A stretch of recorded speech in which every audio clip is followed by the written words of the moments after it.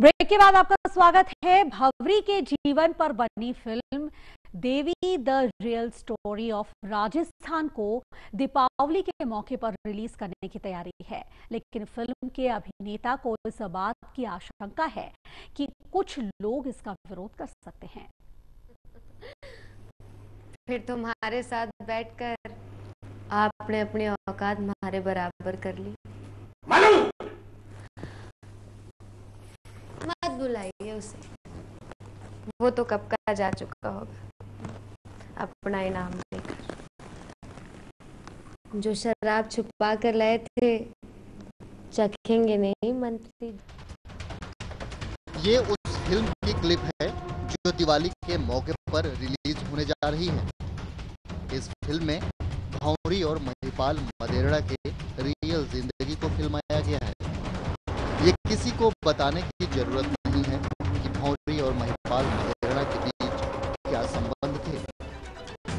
भौरी के गायब होने के बाद न सिर्फ़ राजस्थान की राजनीति बल्कि पूरे देश की राजनीति में भूचाल आ गया था। यार राजनीति भी है ना बड़ी चीज़ है काई काई खेल खेला है।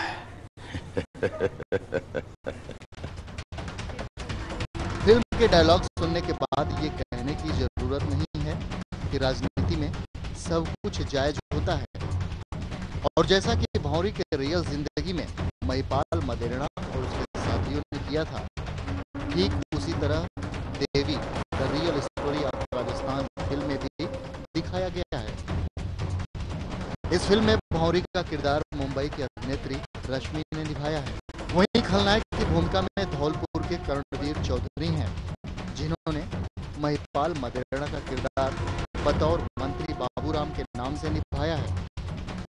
राजस्थान में जिस दिग्गज के नाम से पूरा जाट समाज जमा हो जाता था, उस शख्स के खिलाफ फ़िल्म बनाना कितना मुश्किल काम रहा होगा, इसका अंदाज़ा लगाना बेहद मुश्किल है। जब हम लोग जयपुर में शूट कर रहे थे तो कुछ लोग थे जो मैं किसी पार्टी विशेष का नाम नहीं ले सकता। लेकिन उन्होंने कहा था कि आप ये फ़िल्म बंद कर दीजिए और ये महिपाल जी पर आप फ़िल्म नहीं बना सकते, वरना हम ये कर देंगे, वो कर देंगे और दो घंटे हमारी फ़िल्म की शूटिंग रुकी रही। लेकिन जैसे ही उनको समझा बुझा के हमने वहाँ से भेजा तो प्रॉब्लम तो आई थी। फ़िल्म के अभिनेता धर्मवीर चौधरी जाट समुदाय से ताल्लुक रखते हैं और यही वजह है कि जिस वक्त फ़िल्म का निर्माण शुरू होने जा रहा था, उस वक्त कई जाट नेताओं के फ़ोन इनके पास आए थे और एक जाट के खिलाफ फ़िल्म में काम नहीं करने की नसीहत भी दी थी। हमारे जो कुछ जाट लोग भी थे, उन्होंने कहा था कि करमवीर जी, आप जो है फ़िल्म में काम मत कीजिए, महिपाल जी का रोल मत कीजिए, क्योंकि ये हमारा समाज का मामला है। तो मैंने उन्हें बड़े प्यार से समझाया कि अगर मैं नहीं करूँगा तो कोई और करेगा। चूँकि मैं फ़िल्म अभिनेता हूँ, मेरा काम ये है तो अच्छा इतना बढ़िया मौका मिला अच्छा रोल है तो मैं इसको खोना नहीं चाहता। इसलिए मैंने किया है। विरोध के बावजूद भी मैंने ऐसा किया है। ये बात सबको मालूम है कि राजस्थान की सियासत में महिपाल मदेरणा की तूती बोलती थी और जाटों में गहरी पैठ भी थी। शायद यही वजह है कि फ़िल्म के अभिनेता को इस बात का डर है कि रिलीज़ के वक्त न सिर्फ़ प्रदर्शन हो सकते हैं बल्कि उनके शरीर को भी नुकसान पहुँच सकता है। महिपाल जी और उसका परिवार और ज़िंदा हैं। तो वो लोग विशेष रूप से इसका विरोध करेंगे और मुझे बहुत सी समस्याओं का सामना करना पड़ेगा फ़िल्म रिलीज़ के बाद। विरोध भी होगा और हो सकता है मुझे शारीरिक रूप से कोई नुकसान भी हो जाए। लेकिन फिर भी हम कर चुके हैं और हिम्मत है कि हम ये अच्छा ही किया है और आगे हम करेंगे। इस फ़िल्म का सबको बेसब्री से इंतज़ार है, क्योंकि सभी लोग भौरी के जीवन के पहेली को पर्दे पर देखना चाहते हैं।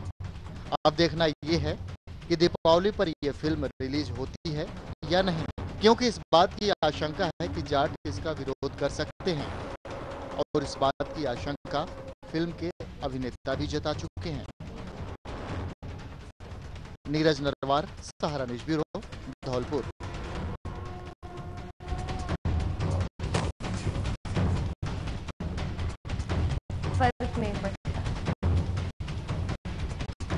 अब आप वो देखेंगे, जो और वही संवाददाता हमारे नीरज नरवार फ़ोन लाइन पर जुड़ चुके हैं। नीरज, ये तो अंदाज़ा लगा पाना मुश्किल होगा कि ये फ़िल्म दर्शकों को कितना इम्प्रेस कर पाएगी या कितना प्रभाव छोड़ पाएगी दर्शकों पर। लेकिन इस फ़िल्म की जो क्रू है, वाकई में उनके लिए काफ़ी कुछ यहाँ पर हो सकता है जब फ़िल्म रिलीज़ होगी। काफ़ी विवादास्पद फ़िल्म है और जो लोग इस फ़िल्म से जुड़े हुए हैं, वो अभी भी ज़िंदा है। बिल्कुल अगर बात करें इस फ़िल्म की तो इस फ़िल्म में जो मुख्य खलनायक की भूमिका है जो राजस्थान के काबीना मंत्री रहे हैं महिपाल मदेरणा उनकी भूमिका निभाई है कर्णवीर चौधरी ने। वो भी जाट समाज के सिरमौर माने जाते हैं राजस्थान में। इसके अलावा जो कर्णवीर है वो जो फ़िल्म के खलनायक है वो भी जाट है मूलतः झुंझुनू ज़िले के रहने वाले हैं राजस्थान से भी बिलोंग करते हैं। अगर माना जाए तो राजस्थान में जो जाट बाहुल्य इलाका है ये राजस्थान। और यहाँ पर ये फ़िल्म रिलीज़ होने से पहले जब फ़िल्म की तैयारी चल रही थी, उस समय भी इनको काफ़ी लोगों की विरोध का सामना करना पड़ा था। वहीं इनके अलावा, जाटों के अलावा कांग्रेस के नेता थे, उनके भी विरोध का सामना करना पड़ा था। लेकिन बावजूद उसके फ़िल्म तैयार हुई है, फ़िल्म बनकर तैयार है एडिटिंग की जा रही है। दीपावली तक इस फ़िल्म की रिलीज़ होने की उम्मीद है। लेकिन साथ में कयास लगाए जा रहे हैं। खुद डायरेक्टर और अभिनेता का कहना है कि फ़िल्म जब रिलीज़ होगी तो हो सकता है राजस्थान में इस फ़िल्म को आप बने रहिए हमारे साथ। तब ऐसा सुरेंद्र राठौर जी जुड़े हुए हैं फ़िल्म के डायरेक्टर हैं। सुरेंद्र जी आपका बहुत बहुत स्वागत है हमारे इस खास पेशकश में। Thank you very much Surendra ji किस तरह की परेशानियों से दो चार होना पड़ा आपको फ़िल्म बनाते वक्त? हम, क्योंकि हम चाहते थे कि फ़िल्म को राजस्थान के लोकेशन से ही शूट करें, क्योंकि जो फ़िल्म की नेचुरलिटी है, वो हम बनाए रखे तो हमें राजस्थान जाना था शूट करने के लिए। और हम राजस्थान जब गए तो हमने वहाँ पे इवन ये तक नहीं बताया कि हम क्या शूट यहाँ पे कर रहे हैं। मतलब क्योंकि बहुत सारे ऐसे इलाके थे जहाँ पे जो मदेना साहब की कम्युनिटी के ज़्यादा लोग बिलोंग करते हैं।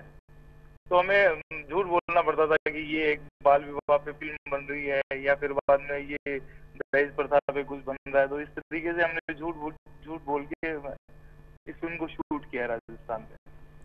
बिल्कुल, और जब आप फ़िल्म रिलीज़ के लिए तैयार है, सुरेंद्र जी तो किस तरह से आपको लगता है कि इस फ़िल्म का विरोध किया जाएगा?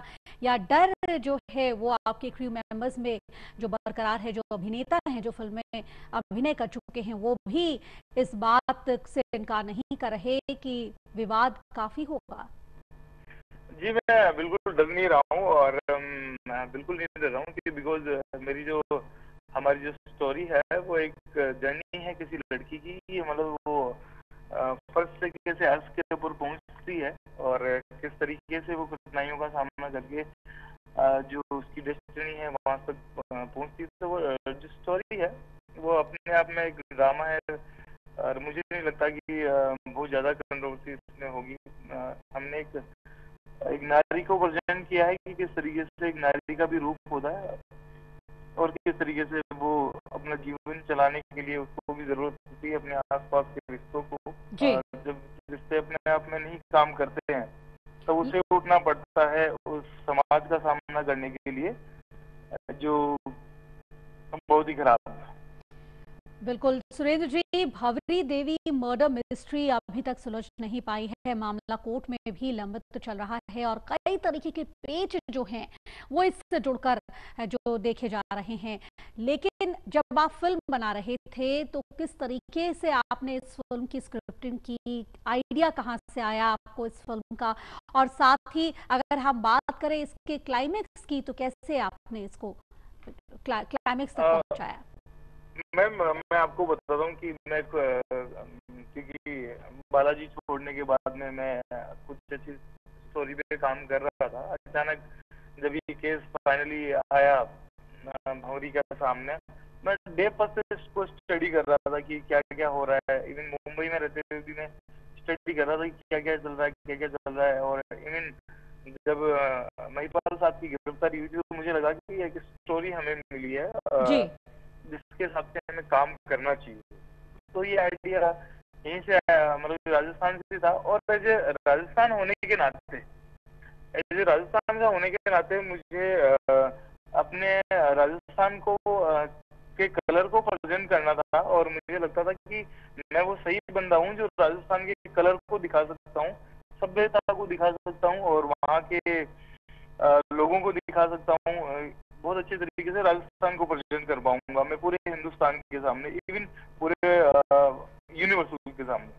चलिए, हमारी शुभकामनाएँ आपके साथ है। हम उम्मीद करेंगे सुरेंद्र जी कि आपकी ये फ़िल्म जो आप दिखाना चाहते हैं, जिस मकसद से आपने इस फ़िल्म को बनाया है, वो मकसद आपका पूरा हो। और इसके साथ ही नीरज, आपका भी तमाम जानकारी देने के लिए, हमारे साथ जुड़ने के लिए आपका शुक्रिया। इसके साथ इस बुलेटिन में फ़िलहाल इतना ही। तमाम खबरों को विस्तार से जानने के लिए आप लॉग ऑन कर सकते हैं। हमारी वेबसाइट कॉम